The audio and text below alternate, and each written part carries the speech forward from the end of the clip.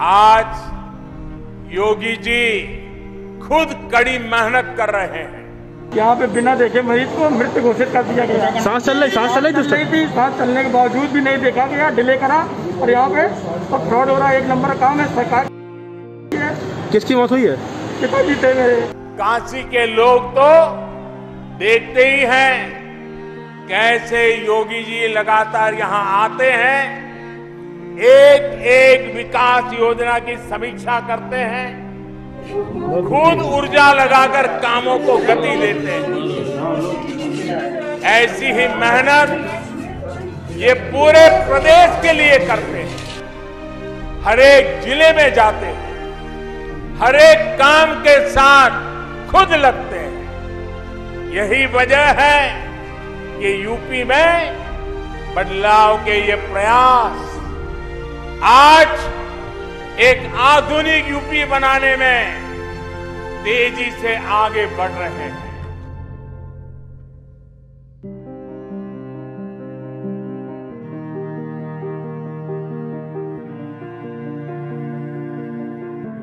मुझे भी कई बार सोचना पड़ता है कि यूपी के कौन से विकास कार्यों की चर्चा करूँ कौन से कार्यों की चर्चा छोड़ दूँ?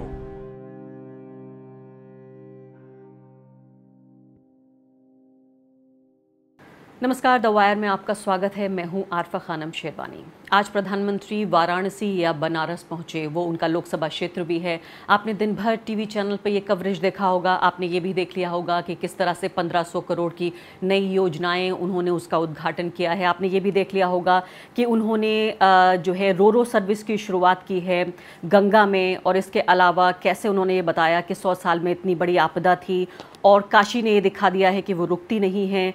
किस तरह से उत्तर प्रदेश के मुख्यमंत्री ने हालात को इस तरह से संभाला है कि अनपैरल्ड यानी उसका कोई समानांतर ढूंढना मुश्किल है। इतनी बड़ी कामयाबी उन्हें हासिल हुई है। ये सब तो आपने देखा, लेकिन जो आपने नहीं देखा, जो आपको नहीं बताया गया टीवी चैनल्स के ज़रिए, अखबारों के ज़रिए, वो आपको मैं बताती हूँ कि प्रधानमंत्री ने खुद ये कहा था, अभी सिर्फ़ दो दिन पहले कि लोग जो टूरिस्ट स्टेशंस पर जा रहे हैं, वो मास्क नहीं लगा रहे हैं, वो भीड़ लगा रहे हैं और इससे उन्हें चिंता हो रही है।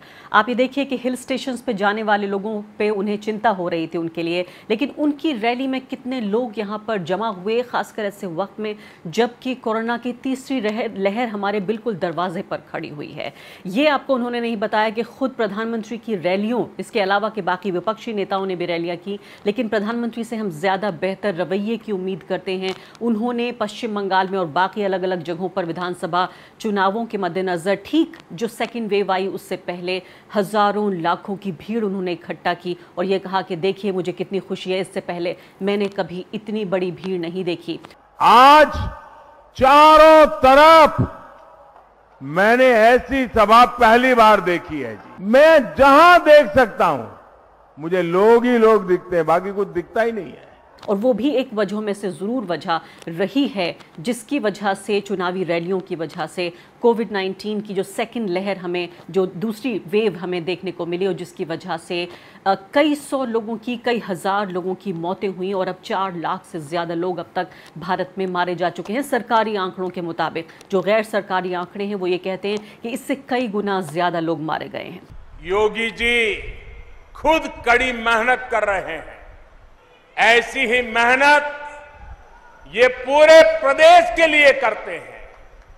हर एक ज़िले में जाते हैं। हर एक काम के साथ खुद लगते हैं। तो प्रधानमंत्री, सैकड़ों लोगों के सामने ये बात कह रहे हैं कि अभूतपूर्व काम किया है उत्तर प्रदेश की सरकार ने। हम उनकी मजबूरी समझ सकते हैं कि वो चुनाव आने वाले हैं और ख़ासकर पिछले दिनों जिस तरह की खबरें आई कि उनके, यानी कि केंद्रीय नेतृत्व और ज़ाहिर है उत्तर प्रदेश का जो राज्य का नेतृत्व है भाजपा का। उनके बीच यानी कि मोदी और योगी के बीच जिस तरह- का एक तनाव देखने को मिला कि किसकी बात आखिरकार मानी जाएगी उसके मद्देनज़र ये उनकी मजबूरी है। लेकिन उन लोगों से ज़रूर आप पूछिए जिन लोगों ने अपनों को खोया इस पूरे कोरोना की दूसरी लहर के दौरान वो गंगा के किनारे जो दफनाई गई लाशें थीं वो गंगा में जो उतराई गई लाशें थीं जो तैर रही थी लाशें जो जो अ, कब्र बन चुकी थी। उन कब्रों के ऊपर से जो नोचे गए कपड़े थे, कब्रों को भी नोच लिया गया। वो सब कुछ हमने आँखों के सामने हमने देखा। उस सब पे से कैसे पर्दा डालेंगे प्रधानमंत्री? उस सब पे कैसे पर्दा डालेंगे मुख्यमंत्री? इस वक्त का जब इतिहास लिखा जाएगा इस दौर का तो ये तस्वीरें जो आप देख रहे हैं, ये तस्वीरें इस वक्त की गवाह बनेंगी। प्रधानमंत्री झूठ बोल सकते हैं, मुख्यमंत्री झूठ बोल सकते हैं। जो दरबारी सरकारी मीडिया है, वो झूठ बोल सकता है। जो बाबू हैं सरकार में बैठे हुए, वो झूठ बोल सकते हैं। जो सरकार के पक्ष के लोग हैं, वो सब कुछ झूठ बोल सकते हैं। अखबार झूठ बोल सकते हैं, टीवी झूठ बोल सकता है। लेकिन ये तस्वीरें झूठ नहीं बोलेंगी। लोगों के आँसू झूठ नहीं बोलते। लोगों की तकलीफ़ें झूठ नहीं बोलती। न सिर्फ़ कि वो लोग जिन्होंने अपनों को खोया, बल्कि वो लोग जो ज़िंदा बाकी हैं, बेरोज़गारी से, भुखमरी से, तमाम तरह की जो आर्थिक समस्याएँ हैं, उनसे जूझ रहे हैं, क्योंकि हर मुहाने पर ये सरकार फेल हुई है। केंद्र के स्तर पर भी देखें, हम राज्य के स्तर पर भी हैरानी होती है। तकलीफ़, दुख होता है कि कैसे बिल्कुल सीधे मुँह से अंग्रेज़ी में कहते हैं, स्ट्रेट फेस के साथ कैसे प्रधानमंत्री इतनी बड़ी बड़ी बातें कर लेते हैं, जो झूठ, जो सच से बिल्कुल परे है, जिसका एक अंश भी जो है, वो सच नहीं माना जा सकता। उस वक्त आप याद रखिए कि कैसे खबरों को दबाने के लिए उत्तर प्रदेश की सरकार ने यह कहा कि जो भी उनकी छवि बिगाड़ने की कोशिश करेगा, जो भी अफवाह फैलाने की कोशिश करेगा, उसके खिलाफ हम नेशनल सिक्योरिटी एक्ट लगाएँगे, उनकी प्रॉपर्टीज़ को हम जब्त करेंगे।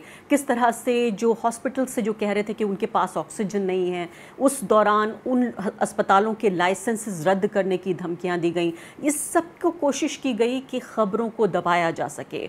वो एक व्यक्ति, वो जो घटना है, वो मैं कभी नहीं भूल सकती कि कैसे इस व्यक्ति ने शिकायत की कि उसके पिता, उसके नाना जी को ऑक्सीजन, वो चाहता था नाना जी के लिए और ऑक्सीजन मिलने से पहले ही या इस पर कोई अमल होता, उससे पहले ही इस व्यक्ति के नाना जी का देहांत हो गया और उस पर खुद उत्तर प्रदेश सरकार ने मुकदमा ठोक दिया। वो अलग बात है कि बाद में कुछ रहम आ गया और उस मुकदमे को वापस ले लिया गया।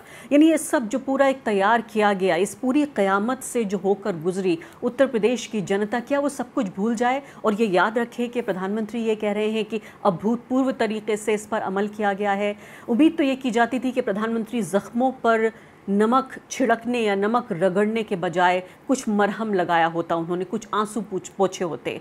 लोगों से इस बात को लेकर कम से कम इसको स्वीकार किया होता कि हाँ हमसे गलती हुई है, या हमें नहीं पता था, ये सौ साल में जैसे उन्होंने खुद कहा कि सबसे बड़ा संकट आया है, हमें नहीं पता था कैसे इसको हम, इस, इससे कैसे हम डील करें। उस सब के बजाय उस सब पे पर्दा डालकर, ठीक इसी पर्दे की तरह जो आप अपनी तस्वीरों में देख रहे हैं, जो अभी देखिए तस्वीरें कि जो अच्छी, जो सच्चाई ऐसी है। जो बदसूरत है, जिस पे पर्दा डाला जाए, उस पर पर्दे डाले गए हैं। तस्वीरें एक पत्रकार ने ट्वीट किए आप देख रहे हैं, बताया गया कि शायद नाली खुदी हुई थी उस जगह पर और प्रधानमंत्री को वो नहीं दिखाना चाहते थे। जो तस्वीर उन्हें अच्छी नहीं लगती, इसलिए पर्दे डाले गए।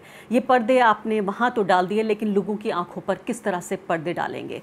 दूसरी एक महत्वपूर्ण बात, जिस पर सुप्रीम कोर्ट ने अब उत्तर प्रदेश सरकार को नोटिस जारी किया है, वो है कांवड़ यात्रा को लेकर। उत्तराखंड ने इस यात्रा को इजाज़त देने से इनकार कर दिया है। उड़ीसा ने इसको इजाज़त देने से इनकार कर दिया है।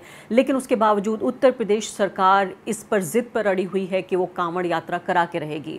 जैसे मैंने आपको बताया कि जो कुंभ का मेला लगा हुआ था, उसकी वजह से जहाँ करोड़ों लोग कुंभ के मेले में इकट्ठे हुए और एक बड़ी वजह बनी जो सेकेंड वेव आई कोरोना की, तब भी इस तरह का काम किया गया कि उसको इजाज़त दे दी गई। पूरी दुनिया में इसको लेकर बदनामी हुई कि कैसे भारत में, न सिर्फ़ कि भारत में कोविड नाइन्टीन के मामलों में इजाफा हुआ, बल्कि पूरी दुनिया जो पैंडेमिक से लड़ने की कोशिश कर रही थी उसको हमने कई कदम पीछे खदेड़ दिया, उनको पीछे जाने दिया, क्योंकि जब भारत में इतनी बड़ी तादाद में कोरोना के मरीज़ पाए गए तो पूरी दुनिया पर इसका असर पड़ा।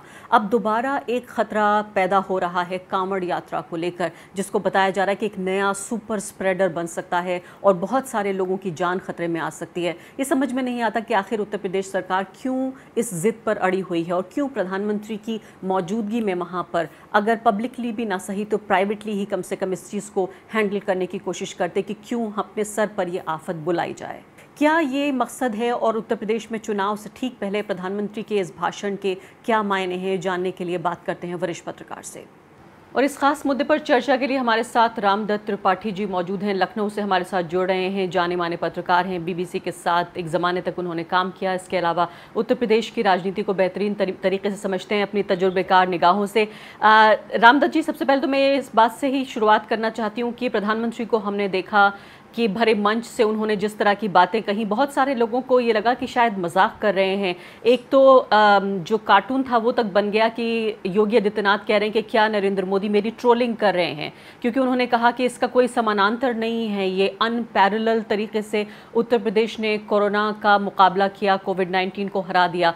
तो ये सब तो हमने देखा, लेकिन क्या ये माना जाए कि उत्तर प्रदेश के चुनावों की का बिगुल बज गया है? ये कैंपेन की शुरुआत की प्रधानमंत्री ने? हाँ देखिए, अगर सामान्य तौर पर कोई कहता तो ये माना जाता कि भाई कोई तंज कस रहा है या व्यंग कर रहा है। लेकिन ज़ाहिर है कि नरेंद्र मोदी जी, वो भी अपने क्षेत्र में संसदीय क्षेत्र में और उत्तर प्रदेश में आकर के इतनी तारीफ़ उन्होंने की तो हमें ये भी ध्यान रखना चाहिए कि वो प्रधानमंत्री के अलावा बीजेपी के चीफ कैंपेनर भी हैं। मतलब सबसे बड़े वोट कैचर हैं वो। और और प्रधानमंत्री, मुझे लगता है वो तीन सौ पैंसठ दिन बारह महीने राजनीति ही करते हैं। तो ज़ाहिर है कि उत्तर प्रदेश में कुछ महीने में चुनाव होने वाले हैं। ये बात अलग है कि ये एक सरकारी कार्यक्रम था और तमाम जो कार्यक्रम थे सरकारी, उनका उद्घाटन और शिलान्यास था। आमतौर पर उसमें राजनीति की बातें नहीं की जाती, लेकिन अब उन्होंने अपनी पार्टी के चीफ मिनिस्टर हैं तो उनकी तारीफ़ आ, बिल्कुल इतने ज़्यादा पुल बांधे उन्होंने। तो हो सकता है कि कुछ लोग ये भी कह रहे हैं कि भाई योगी जी को खुश करने के लिए कहा हो कि भाई ताकि थोड़ी उससे बातें उनकी भी मान लें क्योंकि ये कहा जा रहा है कि बीच में दोनों के बीच में कुछ खटास आ गई थी। उन्होंने अरविंद शर्मा को अपने एक बहुत ही विश्वास पात्र अफसर को भेजा था कि डिप्टी चीफ मिनिस्टर बनाओ और योगी जी नाराज़ हो गए थे। तो अब जबकि ये तय कर लिया है पार्टी ने कि भाई चुनाव के पहले तो आप डिस्टर्ब नहीं कर सकते तो एक कहावत होती है, फिसल पड़े तो हर गंगा। तो अब योगी जी को ही, एक तरह से नेतृत्व में चुनाव लड़ना है तो उनकी तारीफ़ तो करनी पड़ेगी। हालाँकि वो न करते तो शायद अच्छा रहता, क्योंकि इतनी तारीफ़ करके उन्होंने उन लोगों के जले में नमक जैसा छिड़क दिया है जिनके परिवार के लोगों को इलाज नहीं से ही मिला कोरोना के दौरान। या जिनके परिवार के लोगों को श्मशान घाटों में जगह नहीं मिली अपने चिता जलाने के अपने परिवार के लोगों के या दफनाने की हमने देखा कि गंगा में कितनी लाशें उतरा रही।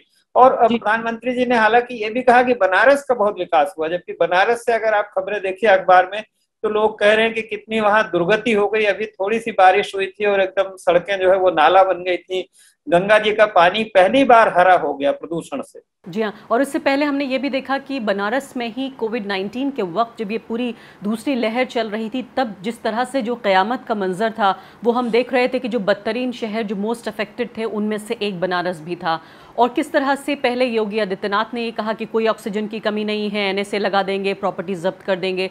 उसके बाद, लेकिन ये तो फिर भी कुछ हद तक समझ आता है कि वो उस प्रदेश की मुखिया लेकिन प्रधानमंत्री के मुख से इस तरह की ये बातें वो जानते हैं कि वो दुनिया के सबसे बड़े लोकतंत्र के नेता हैं। आपको लगता है कि अगर ये मान लें कि ये चुनावी हिसाब से भी किया जा रहा है, ये भी मान लें कि ये मुख्यमंत्री के साथ एक पुल बनाने की कोशिश है चुनाव से ठीक पहले, लेकिन क्या वो इस बात को नहीं समझते कि वो लोग जिन्होंने अपने माता पिता को, अपने फैमिली मेंबर्स को, अपने दोस्तों को खोया कोविड नाइन्टीन के वक्त, कुप्रबंधन की वजह से, उसमें इस हद तक जो है वो पुल बाँध देना, इससे बेहतर क्या ये नहीं होता कि वो इस बात को स्वीकार कर लेते कि हाँ ये इतना बड़ा, इतनी बड़ी महामारी थी हाँ हमसे गलती हुई हाँ हम इसे ठीक से नहीं मैनेज कर पाए, हम माफ़ी मांगते हैं, लेकिन अब बेहतर करेंगे।